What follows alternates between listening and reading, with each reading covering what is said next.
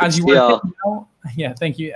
As you were saying now, we have uh, Iddo Gino, the founder and CEO of uh, a Rapid API uh, that will uh, be on stage for, for 25 minutes. Hello, uh, Iddo, how are you? Good, good. How are you doing, Mehdi? I'm doing really well uh, from your nice office. Nice. Uh, it's, uh, I, I, feel crazy every time I log in from here and like I'm in an actual office. Yeah, an actual uh, in real life office, like IRL office, right? Still yeah, exists. yeah, it's not like a virtual background or anything. yeah, it could be, but no, uh, it's great. You're you are one of the mo- most promising companies in the in the space uh, with Rapid API, and we really we're really glad to have you there. And uh, you will talk with us about digital transformation in banking, how APIs are filling the next wave on financial services. We're really glad to to hear about that. And the stage is yours for 25 minutes. Enjoy. Cool. Thanks for that. And uh, yeah, maybe after this talk, I'll find a way to uh, to do get our competitors to pay us money. To your uh, quote earlier. Yeah, that that may happen. That's a good sign of uh, of uh, of success. Don't hesitate to share your screen uh, if you find the button. Like it's the third button below our two pictures. Yeah. Yeah. Perfect. Awesome. now I'll see. Yeah. Do you see the like the yeah. presentation? We see it presentation. We see it full screen. It's perfect. See you awesome. in 20 minutes. Thanks, Mehdi. So, uh, hi again, everybody. Uh, my name is, uh, or just maybe to reintroduce myself, my name is Iddo. I'm the CEO and founder of a company called Rapid API. Uh, some of you may know us as the uh, public uh, API marketplace. We also have an enterprise product on top of that, which I'm going to quickly touch on at the end of this presentation. but more predominantly, what I want to focus on today is actually talking about APIs and financial services and kind of looking just given, I think, that this has been one of the most prominent industries in terms of adopting APIs and kind of being at the forefront of uh, creating APIs and publishing APIs, exploring how that have actually come to be and where we see that industry going in the future.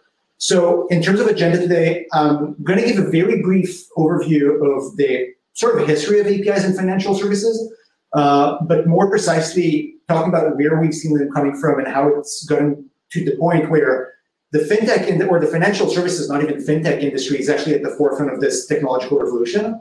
Uh, talk a bit about talk a bit about the drivers uh, that are causing um, financial services companies uh, to create this API so quickly, and then touch on some of the best practices that we've seen, at least from the customers that we work and engage with, uh, that are important when it comes to actually doing APIs right. Now, just to maybe formalize some of the background around um, Rapid API and, and, what we do as a company. So we start as an API marketplace. Uh, we help over a million developers around the world discover and connect to public APIs um, and are powering billions of API calls every day that are flowing through the Rapid API platform. Um, and then on top of that, uh, we also have our enterprise platform, uh, which is a custom private label uh, API marketplace that we deliver to customers. Uh, and in fact, we've been able to work with a lot of banks and financial services companies that have kind of been establishing their API platform, both for internal API consumption and collaboration between developers, but also to be able to expose APIs externally to their developers, to their partners, to their clients, uh, and help them establish those API platforms. Uh, so this is where we uh, start getting some experience working with uh, companies in that space.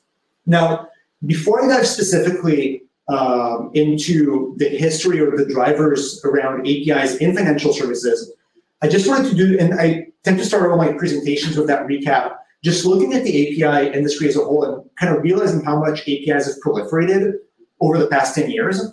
Uh, we now actually see some predictions that this is going to become end up becoming a 2.2 trillion dollar industry. And one of the things that um, we found unique, especially as we started foraying into the space of APIs, but also API specifically in finance, is just how many of the big examples of companies that are being pretty successful around providing APIs are actually coming from the financial space. So even if you look at some of these examples of uh, some of the largest companies in that space, a huge amount of them actually creating a very large uh, amount of, of, financial value comes from the financial space. So you see Plaid, which Jeremy talked about earlier, uh, which helps with interfacing with some uh, banking accounts, uh, informa- information and financial data. And then you have companies like Adyen and Stripe around credit card processing. And what I personally find shocking about these valuations is not just how big they are, but actually if you start comparing them to some of the legacy companies in the financial space. So, you know, for instance, we looked at Credit Suisse and, and Deutsche Bank, some of the largest banks in Europe. turns out those API companies, all of which have been founded pretty recently, uh, are actually much larger in valuation than two of the largest banks in Europe. Um, and all of that, just to make that even more uh, permanent, all of that with far less employees in their ranks compared to some of these banks uh, on the right hand side. So it just seems like APIs are, um, you know, very big and very important in the financial industry. And if you actually look back and think about it, APIs are actually not that new as a concept in the financial space. And one of the drivers for that is the nature in which most of the software and infrastructure in the financial services space is built. So if you actually look inside to the banks, a lot of the banks were actually the first players to start looking at digital and then modernizing their infrastructure. And this kind of started in the 60s, where a lot of banks started introducing mainframe computers. Then they started building the whole layer of ATMs and uh, automated banking on top of that. And, may, and then in the 80s, even introducing call centers on top of that. But then all of a sudden, looking at the last 20 ish years, they suddenly had an explosion of digital channels that they had to uh, start working within. So a lot of them started having uh, web-based portals and banking uh, interfaces, then also adding, you know, iOS, Android, and, and, mobile interfaces on top of that. And now even adding more things like voice assistants, chatbots, and a lot of different digital channels that help people access their banking. And one of the interesting side effects of that has been a lot of them ended up uh, actually keeping some of this initial infrastructure and early systems that they built in the 60s, 70s, 80s, and they still have those legacy systems operating and actually maintaining customer accounts, maintaining uh, transaction data, and some mission critical data like that. But then they also ended up building some of those more robust uh, digital channels that had to pop up very quickly. And one of the things that, uh, or one of the side effects that this had is that they had to create ways to interface between those legacy systems and the new application and, channels that were being built.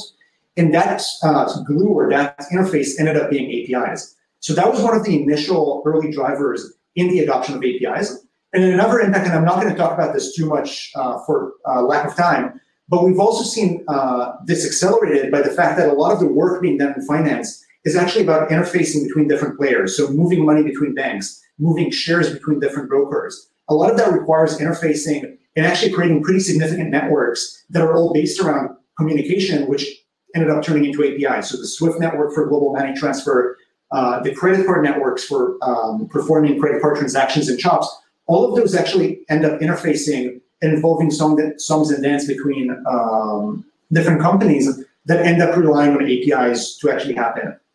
So APIs aren't new, but we have seen their adoption accelerating pretty rapidly. Um, and the discussion about APIs in the financial services space accelerating pretty rapidly over the past few years. And there are three main drivers that we're seeing for that. So the first uh, driver that I'll talk about is fintech applications and more players that are not traditionally financial companies that but are entering that space and relying on APIs to do that. The second driver that we're seeing is just global regulation, which is actually pushing companies towards creating APIs. And then API aggregators that are kind of, uh, and these are companies like Plaid, which are kind of creating their own APIs and forcing, uh, in a way, the banks to tag along with them. So looking at that first one, um, and the fintech application, we're seeing more and more, and, and this has been a trend uh, over the last couple of years of technology brands actually getting into finance. So one example is the Apple Card by Apple, so technology brand releasing a financial product. Uh, we have the Google Wallet or Google Pay uh, product that's being released uh, right now. And then you also have Facebook with the ability to actually send money via the Messenger app. And you'd think all these companies are actually turning into banks, but the reality is that that's not really happening. So if you actually look at the uh, Apple Card, that's just relying on Goldman Sachs, a traditional bank, under the hood. Uh, same with Google Wallet partnering with Citi to actually power the uh, checking accounts and the transactions. Um, and Facebook, which actually partnered with PayPal for these online transactions.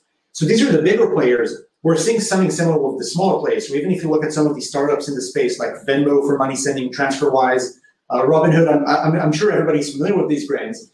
Uh, but all these brands, while offering financial products, are not actually building those products themselves, but rather partnering and relying on some legacy or traditional banking partners to provide some of the financial services. So for Venmo, that's Wells Fargo. TransferWise uses a uh, whole host of banks around the world to send money between accounts. Um, and Robinhood with Apex Clearing for actually moving and uh, transacting the shares. So the reality is that a lot of these uh, technology brands want to offer uh, banking products, but none of them actually want to be a bank uh, because that includes a lot of regulation uh, and restrictions that come with that. Um, sorry. So what we're seeing them doing is more predominantly partnering with existing uh, banks and uh, traditional banking partners and just relying on their technologies and offering a, an interface for customers around that. And the way that they're interfacing with those banks is by APIs that they expose. So this has uh, been one big driver that we've seen pushing banks towards exposing more and more APIs. So this again, looking at that first point of fintech applications. Um, the second area that we've seen uh, where banks are being pushed towards offering more and more APIs is actually global regulation. And a lot of that actually dates back to the financial crisis, where a lot of global regulators realized that some of the banks were a little too concentrated and wanted to offer customers more mobility between banks. And if you actually look at some of the global examples, like this from the UK, where we've seen that most most adults actually end up opening a bank account when they're 18 and never really switching that. Uh, and you see very low numbers, even in that very advanced economy, of customers actually switching between banks. And the problem that the regulator has identified that's causing that is once you actually open a bank account, all of your data and your transaction data is being concentrated within that bank's systems. And if you're going to open a new bank account with a competing bank, you're going to start from scratch. And not a lot of people want to do that because that means they're going to get uh, worse access to lending, uh, mortgages, and things like that. So they started uh, pushing banks toward opening more open data to allow customers to move their data more freely between banks, thus opening the space to more competition.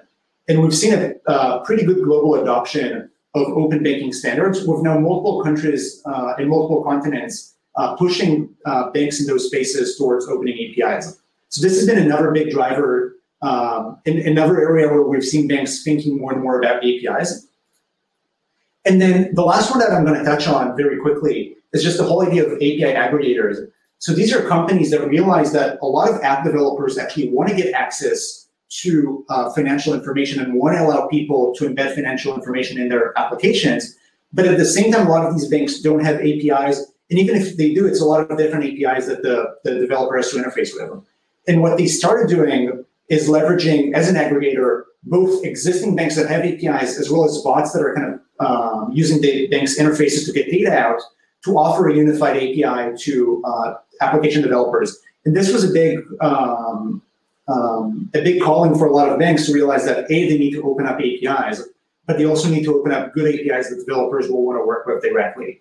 So these are some of the you know both pushers um, from both like a carrot and a stick perspective uh, giving banks and financial players incentives to go into uh, open APIs and embark on that journey, but also pushing them to do that through regulation and other means. Um, and I think that this is now where a lot of banks are thinking about APIs and also seeing the big opportunity uh, by, uh, that opening APIs and creating that ecosystem allows them. So these are some of the pushes uh, or the drivers that we're seeing for the creation of APIs. And as a result of that, we've been working with a lot of different banks recently helping them go embark on that journey and organize their API strategy. And from that experience, uh, there are actually five um, key pieces of advice, I would say, um, or recommendations that we've seen uh, that help companies uh, get APIs right. So for the next couple of minutes, I'm just going to cover these and walk through some of those best practices that we've been seeing. The first pattern that we've seen to work pretty well um, and I'll touch on that first, is the concept of starting inside out. And what we've seen there is a lot of players actually think of APIs as an external product that they're exposing to their customers and want to start by working on that. But we've actually found it to work better when you look at the internal APIs that many of these banks already have and microservices, microservices, and other systems that are already talking via APIs. Working first on organizing those and then taking a subset of them and starting exposing them first to partners and, lately, and lastly to, um, to developers in the broader community. So if you think about it, a lot of these banks already have those internal APIs, and we've seen getting those APIs done right and organizing them is critical, and is really the first step that needs to be taken, just cataloging those, organizing those, and putting a good API strategy in place. Then you can actually go and expose a subset of these APIs to partners, and these are normally people that you already work with. Uh, they're either existing customers or partners that where there's already a relationship, So you can give them APIs that are maybe not as ready, uh, but starting to get to get their experience and see how they're interacting and using those APIs. And then lastly, being able to take an even smaller subset of those and make them completely public so developers all around the world can go and innovate on top of these APIs. And one of the main reasons uh, to embark on that journey uh, is actually the fact that most companies already have a lot of existing APIs. So this is a survey. Uh, this data is actually from a survey that we've done uh, earlier this year, where we've seen that the average company at large scale actually has 300 or more um, APIs throughout their architecture. So that's a lot of APIs. And oftentimes just organizing those and using those to get the API muscle and API skill going um, is pretty important. Now, as part of that transition, uh, the second thing that we've seen is critical to get APIs right is actually investing in a good API platform. And think of that API platform as a place to organize all the APIs and serve both the API creators and publishers as well as the API consumers and be able to use that same platform both as an internal tool around those 300 or more internal APIs that are already out there, but also as an external tool facing the partners and customers who are going to be using and integrating with those APIs. So we see that as a critical platform serving on the one hand the API creators who are going to be designing those APIs, uh, developing them over time, um, and publishing them and choosing who can see them throughout the organization. Uh, so that's on one hand, the creators of the APIs, uh, but then also allowing them to expose the APIs and serve them to both internal developers who want to discover and connect those APIs um, and the external developers um, who are going to be consuming those APIs from other companies. And we've actually ended up doing a mapping um, of some of the features or capabilities that are important to each one of those stakeholders. Uh, so I'm going to cover that very uh, briefly, but I think that's important as, to understand those requirements as you go about setting that platform. So from an API creator perspective, the main way in which we've seen them interact with that platform is thinking about publishing the API documentation and exposing it to other developers, integrating with the CI/CD gateway to get better integration um, with the rest of their systems and be able to update those APIs over time. Uh, control access and visibility of the APIs, support multiple API types, and this has actually been a big trend that we've seen recently, looking at things like WebSocket and Kafka-based APIs as well. Um, and then last, looking at monetization and actually charging those for those APIs. And that becomes especially important when talking about uh, exposing those APIs to external partners as well. From the other hand, we've, you know, for, for some of these internal developers and external developers consuming the APIs, the important capabilities that we've seen are, you know, having one place to search for all of these APIs uh, and be able to get to the right API more quickly by using concepts like tagging, filtering, API collections, and things like that. Uh, looking at very easy and straightforward interactive API testing to help developers ramp up and start using those APIs more quickly. Um, and then looking at you know code snippets for making the integration easier, as well as monitor, uh, monitoring and analytics to understand over time how that uh, how those APIs are performing. Uh, so this is overall um, some of the key components that we've seen when thinking about the API platform. And another suggestion that we have around that API platform, and this goes to the next stage of API deployment flexibility, is think about making it as easy and as seamless as possible for developers to actually go about pushing and publishing APIs to that platform. So thinking about from the first stage in the API lifecycle of just envisioning and thinking about that API initially, making it easy for developers to actually place that API in the catalog, even as a mock API or as a placeholder, and start getting feedback so that that whole API design flow um, and development lifecycle is well integrated with that API platform. So to sum up where we are right now, uh, think about starting with internal APIs before going um, and working on public APIs, establishing a centralized API platform, and then getting APIs into that platform as early in the process possible. Uh, the two other components are pretty critical as well. Uh, the first one is just thinking more about developer experience. And I think um, this was actually touched on in the previous uh, conversation as well. Uh, but I'm just going to mention that quickly. Developers today, both internally and externally, expect APIs to work in a certain way and to be easy to use and easy to get started with.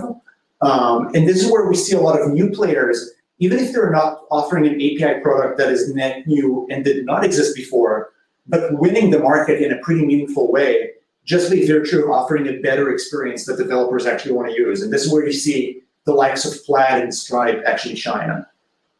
And I think that uh, Patrick Collison, the CEO of Stripe, actually had a really nice quote about this. uh, when he asked uh, when he was asked to describe what they do at a TechCrunch interview, he actually described it as we're making a payment platform that doesn't suck. And I think that that sums up really well how to get APIs right. Just make sure that they don't suck. Um, so yeah, developer experience really matters in building those APIs. And again, think of starting inside out. You want the developer experience to be right, both in aiding the internal adoption of APIs, as well as later on to make it easier for partners and um, um, and other players to adopt and use those APIs as well. And then the last point that we see is pretty critical is just thinking of making room for new products um, and new types of APIs. And this is where we've actually seen a lot of banking partners that we work with making really interesting headways. And that's when they start thinking not just of the basic uh, banking APIs. So you normally think about financial transactions, credit card processing, accessing users' account information, but actually expanding beyond that to leveraging some of the data and infrastructure that they has have as banks and offering new products. And we've seen really interesting products being offered by banks in this area. So things like um, being able to do age and, and, identity verification just by virtue of, you know, if somebody has a bank account, they can log into this bank account. The bank had to have um, performed KYC and validated that user at some point, so you can actually get real information. Uh, things like being able to deliver documents in real life via banking branches, um, and actually a host of other really interesting new ideas where banks are leveraging all the data and the infrastructure they already have and using that to offer new services to developers. So I think that that's a really interesting um, area, and that the banks can actually make really interesting things by thinking in those areas and opening up the spigot to allow their developers to offer uh, and, and build those new products more seamlessly. So I know there was a lot to uh, to get through, um, but maybe just to uh, um, to summarize what I've talked to throughout this conversation. Um, so we're seeing a big proliferation of APIs in banking for three main reasons: fintech applications, which are actually relying on the traditional banks and requiring them to open APIs; regulation like PSD2 and open banking, which is open, which is pushing banks towards opening more and more of these APIs; and then API aggregator players. There is a set of popular APIs uh, that we're seeing most banks start with, uh, both internally within their infrastructure, but also externally. Uh, but also an opportunity for a lot uh, for many new types of APIs to be exposed. And then there are five general recommendations uh, that we've been making to banking partners that we work with. So starting inside out, working with internal APIs before going external, thinking about creating a good API platform that's going to be robust and allows good and allows good discovery and publishing of APIs to internal and external developers. Uh, think about a flexible deployment cycle and getting APIs out there um, and visible to the rest of the uh, API customers, both internal and external, as early as possible. Getting and investing a lot in developer experience, and then again thinking about new products and all the new possibilities that those um, API strategies unlock. Um, so this was a, a my very quick um, conversation here. I do hope that this has been um, um, that this has been interesting and uh, and relevant for everybody who's out here. Um, and uh, hope yeah, hoping to see more uh, interesting APIs uh, coming out of this. Yeah, thank you, Iddo. Thank you very much. One question uh, we've seen is. Uh, like it seems many startups and fintechs actually build an API just to disintermediate people because they have the best developer experience, and then they will build product later. Just an example, Stripe, who take who has taken over the developer ecosystem, and now they sell directly. Uh, they do like some kind of loans or debit cards, right? Uh, loans for small businesses. So they try to be a bank at some point. I don't know if they, as you say, they, they will be a bank, but at least they take they do banking products at least at some point. And on the other side, you have some banks that partner with you to be able to deliver APIs, right? to be the, the sexy for developers and, and own the developer experience. So how do you see the both kind of matching? Who will win this like uh, this struggle? Yeah, I, I think that the banks that will end up winning are those that realize um, that offering APIs and more than that, offering good APIs is no longer an option in many ways, but it's a must-have at this point. Uh, so if you think about a consumer, you know, let's say I'm a consumer I'm using some, um, I have an account with some bank, but I know every time I want to apply for a loan or every time I need to pay somewhere, I can't log in with my bank account, but I actually need to go and copy all the account details manually, and I can't see a real-time transaction update with that client application. That might be because they don't have a good API. And as a consumer, I don't know that it's because they don't have a good API, but I'm going to get frustrated with my bank account anyway and consider switching in the future. And we've even seen that in the corporate world. Uh, so more to the Stripe example, we've worked with a couple of big banks, uh, both in North America and Asia, that have actually come to us and said, look, our corporate clients, when they make batch transactions, they don't want to send us file anymore. They expect us to have an API. And at this point, if we can't offer them an API to make things like transaction or uh, balance inquiries or things like that, we're going to lose them to another bank because that's what they're expecting these days. Um, so yeah, I, I, think that there are going to be companies that will monetize on banks, maybe being a little bit behind in their API journey, but we're also seeing uh, banking uh, catching up pretty quickly and realizing that having a good API is a must-have at this stage.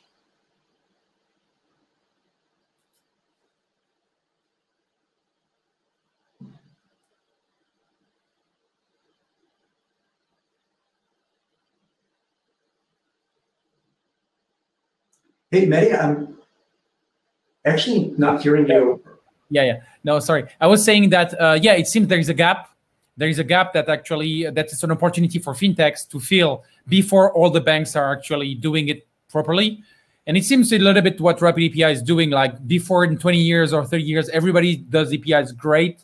Like there's a huge gap that actually your, your platform can, can, can answer.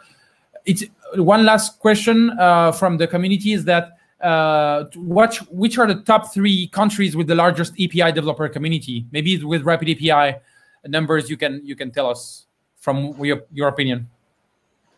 Yeah, I think for us, um, the community that we've seen in Rapid has been truly global, and I think that especially now with uh, COVID and uh, everybody working remotely, it's kind of it, it, it, in a weird way, it feels like it's breaking down some of those barriers. I think for for our community, it's probably biggest in the United States, um, and that might just be a work product of that being where our team is based, um, or at least the majority of our team. Um, and then behind that, uh, for us, Europe as a whole, and the UK has been pretty big. Uh, we've seen a lot of developer activity there. Um, and then India actually has been uh, where we have a large community of developers too. Yeah. Thank you very much. Thank you, Iddo. Uh, have a great day. Uh, enjoy uh, your nice office. yeah. as long as we still have offices. Thank you, Iddo. Yeah.